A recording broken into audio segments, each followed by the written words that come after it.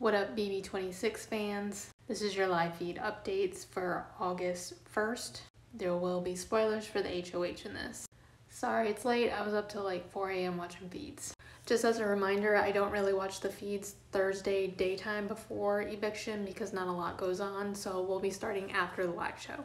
Makensy tells Leah it's time for them to start playing the game. T'kor tells Kimo uh, Lisa was really upset when she found out she was leaving at the live vote and she feels bad about this. She says she would have given Lisa a heads up had Lisa not mentioned T'kor's name and possibly getting her out. Tucker tells Kenney that they need to have a one-on-one -on -one later. Joseph, Cam, and Cedric hope that everyone goes with the plan this week, which is to get Angela out. And they hope that Lisa actually did leave with a power. Kenney tells Brooklyn and Cedric that he could not give Angela a vote to stay this week because of how she's treated past house guests and how she had treated Lisa all week. Cedric asked Chelsie her thoughts on both Makensy and Leah. Chelsie thinks both the girls would go after Angela this week, but there was a good possibility she would use Cedric and Chelsie as pawns. At about 8.15 p.m. Big Brother time, the feeds go down. They are playing HOH. Feeds do return about 10.30 p.m. Big Brother time, and we find out that Cedric has won HOH.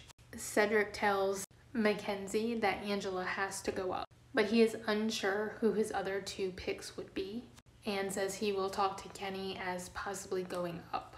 Makensy tells Cedric that she does have a power. She kind of goes into what it does and says that if she's safe this week and she needs to use it to keep him safe next week, she will.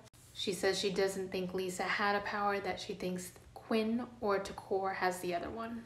Cedric tells Chelsie that he's pretty set on who he wants to put up. His only real concern is Makensy's power and her closeness to Leah. He thinks if he puts Leah up, Makensy will use the power to save her, and then he would have to put up another nominee not realizing it's actually America who is.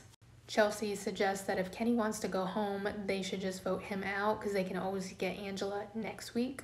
Kenney makes his way to the HOH to have a one on one with Cedric. He does say he wants to go home. He feels like he does not benefit anyone's game by staying.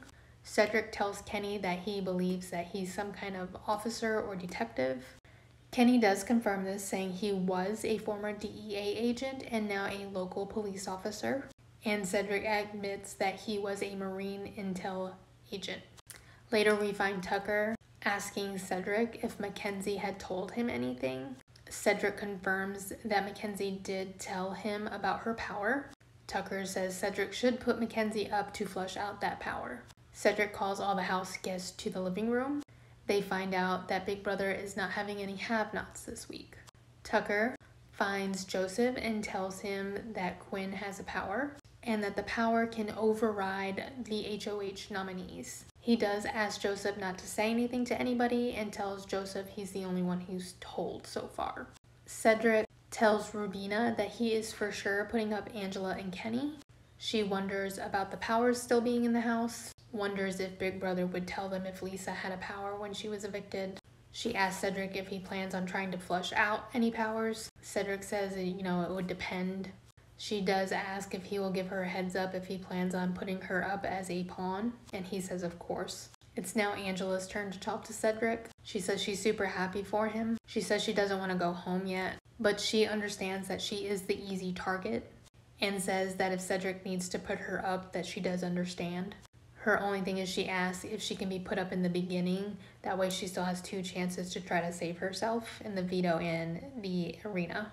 Joseph and Cedric have a mini celebration when nobody else is in the HOH room. Joseph asks Cedric what the plan is. Cedric said right now his plan is to put Angela, Kenney, and Rubina on the block. Joseph asks what about Makensy? And Cedric says that his main worry is renomming someone, again, not realizing America will do that. Joseph tells Cedric that Brooklyn and Rubina are the biggest threats to the collective. Cedric wants to have a meeting with the collective and says if everyone in the collective is not okay with Rubina going up as a pawn, then he won't use her. They both agree that Kenney should go this week. Cedric then talks to Kimo. He lets Kimo know that everyone in the collective is safe and that Angela and Kenney are officially going on the block. He just needs a third person to be a pawn. He would prefer that person be someone outside the collective. Cedric then considers putting Joseph up and goes to find him. He asks Joseph if he'd be okay with being a pawn this week. Joseph flat out says, No, you're not doing that. He said his reasoning is because here on out, every person that becomes HOH will just use him as a pawn, and he doesn't want that. After Joseph leaves, Cedric speaks to live feeders. He says he was really banking on Joseph being the pawn this week, and now he just doesn't know what to do. By this time, it's like 4 a.m., and everyone is in bed except for Makensy. She is found in the bathroom crying. Not sure what that is. I could not keep my eyes open anymore. And that's your update. I'm gonna go catch myself up right now, and tomorrow morning we'll find out who the nominees are. All right, we'll talk to you guys later. Bye.